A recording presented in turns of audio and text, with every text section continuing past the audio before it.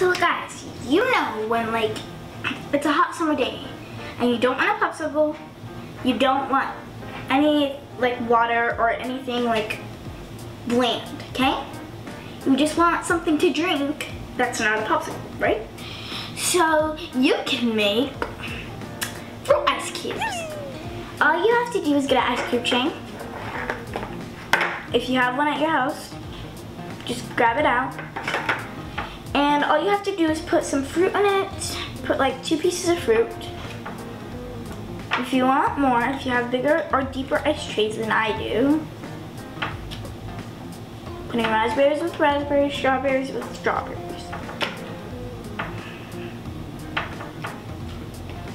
You can probably fit three, but I'm only doing two.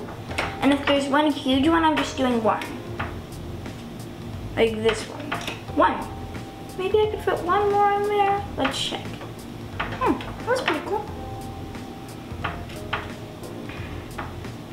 My arm's starting to get, like, all the blood starting to rush down to my, um, elbow or something. Okay, that was blackberries. There's raspberries and blackberries. I'm putting the blackberries with raspberries and it doesn't matter really to me. Hmm, that's good stuff. I'm just gonna throw pieces in there.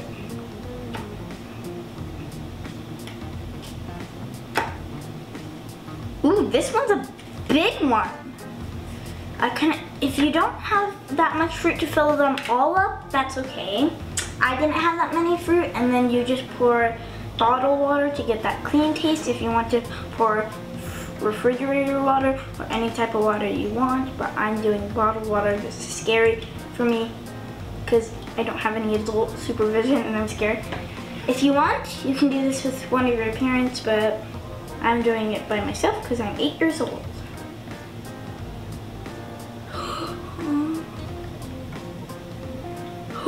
whoops one I keep on filling up too much gonna need like that much, but I keep on filling them up like way too much. Mm, this is bad. I do not want this to become a fill.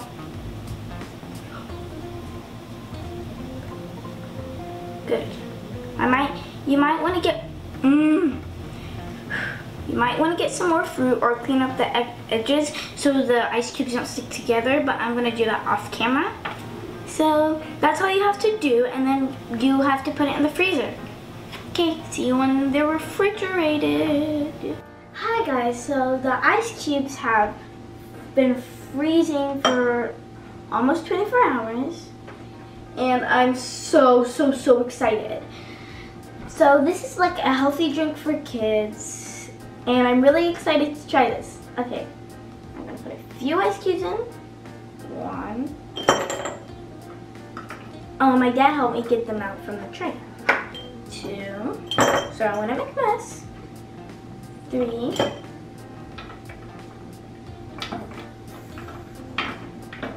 Four.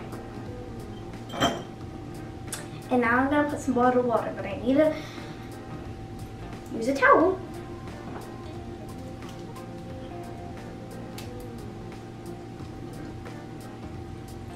And like I said, this is a healthy drink for kids.